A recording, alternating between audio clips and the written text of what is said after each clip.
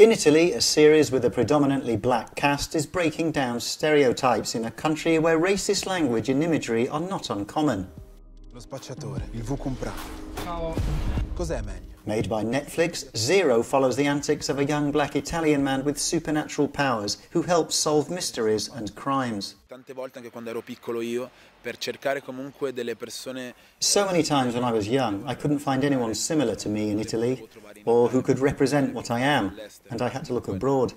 In the world today, even in Italy, there are a lot of second generation blacks, and this community is pretty strong. And we're not represented in cinema, so to be part of a series as a black story is a huge victory for me. di una serie con protagonisti neri per me è una grandissima vittoria.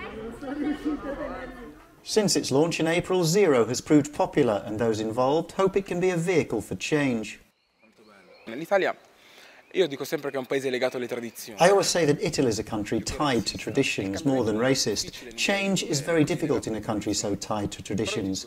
But I tell you, I'm convinced that through these things, writing novels, the possibility of making a series, that things can change. di fare delle serie si possa cambiare.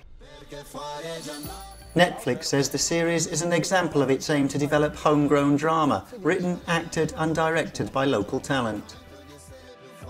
Non ci conosciamo nemmeno. Ti presento i tuoi nuovi amici, lei e Sara. nel mondo italiano per noi è stata un'emozione, per me For us in the Italian world, it's been emotional, and for me personally, a satisfaction, allowing me to feel good about myself. For me, non è it wasn't just a job. lavoro. Zero was a contribution. How do you say it? A contribution to change. Contribuire, non so come dire, contribuire un po' al cambiamento. Il mondo ti guarda. Zero has been adapted for several European languages and is in worldwide distribution.